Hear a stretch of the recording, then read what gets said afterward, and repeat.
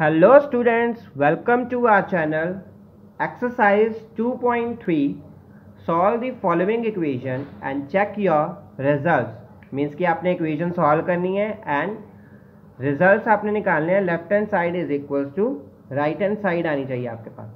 तो question number fourth is four z plus three is equal to six plus two z four z plus three is equal to six plus two z.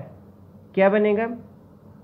Four z. सबसे पहले हमने क्या करना है? Variables एक side रख लेने हैं कॉन्स्टेंट एक साइड रख लेना है। Four z minus two z is equals to six minus three. Four minus two two z. Six minus three three. So now z value is equals to three by two z की value आ गई। अब हम इससे हम equation number one दे देते हैं। So now we put z value in equation number one we get क्या बनेगा?